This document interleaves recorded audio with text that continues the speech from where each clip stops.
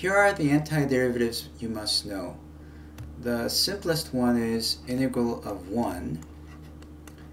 And since antiderivative means a function whose derivative is equal to, to this function, what differentiates to 1? It, x differentiates to 1, right? So the integral of 1 is x, and for any antiderivative you must put a constant c. Now this means that if you have any constant, because constants can be brought outside the integral, just like derivatives, right? So c is same as c times 1, and since integral of this 1 is equal to x, you get cx, and uh, I'm writing a lowercase c, it's hard to distinguish. Uh, usually the integral constant is capital C, okay? So that, that's what this actually means, okay? Alright, the second thing that you have to know is something that we already went over. It's the power rule. And for power rule, it's very important that you don't rely on the formula. You have to think of it as two steps. First, add a 1 to the top and put the reciprocal of this number in front. Okay.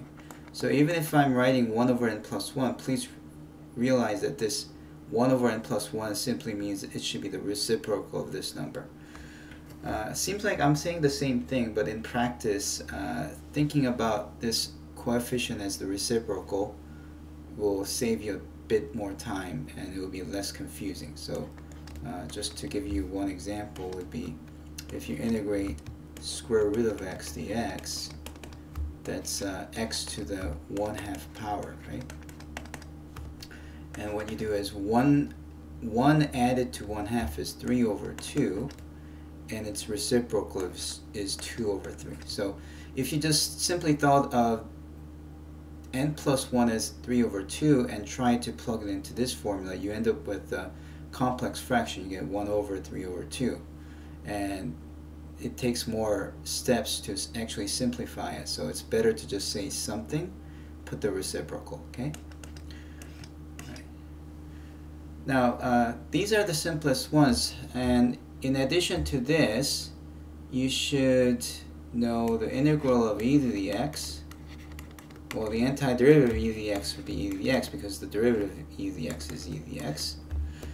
And there's actually one more thing that's like a blind spot in this one. So uh, if you have an integral, and actually I would like to use a, a red pen for this. See, uh, very important. If you have an integral of x to the negative 1 dx,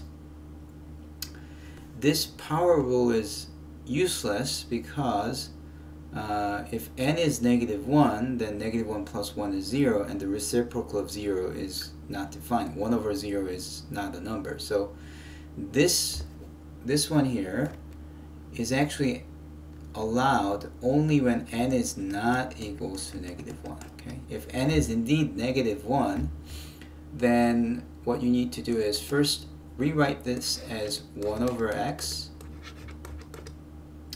And uh, if you have 1 over x, well, what differentiates to 1 over x? That's ln of x, right? So uh, this is an additional thing that you have to remember on top of the antiderivative. So uh, the top of the power rule. So uh, the power rule seems to work work for all n, but it has this blind spot. If n is negative 1, this power rule cannot be used, and you have to change that to 1 over x, and you actually get the log of x. Okay? Now, uh, it, actually is a little bit more complicated than this, uh, and uh, that requires a little bit more explanation. Uh, when you integrate the 1 over x, you actually need ln of the absolute value of x. And the reason for that uh, is the following. If you integrate, if you differentiate ln of x, of course, that's 1 over x, right? But it's also true that if you differentiate ln of negative x, uh, then by the chain rule it's 1 over negative x and you make a copy of the inside function and you get 1 over negative x, negative 1, and negative negative cancels and you get 1 over x. So indeed, both log of x and log of negative x produces 1 over x when you differentiate. And the interesting thing is this function log of x is only defined when x is positive. Uh, and therefore this second function will be only defined for x negative. So uh, if you define ln of, if you think about what ln of absolute value of x is, this is really ln of x when x is positive because when x is positive, absolute value of x doesn't do anything. But if x is negative, then this is equivalent to saying ln of negative x because uh, absolute value of x is same as negative x. Don't be fooled by this negative sign. Negative x is actually positive because x is negative. If x is negative, negative x is positive. Yeah, uh, think about that, okay? So if x is negative, negative x is positive, so absolute value of x will become negative x.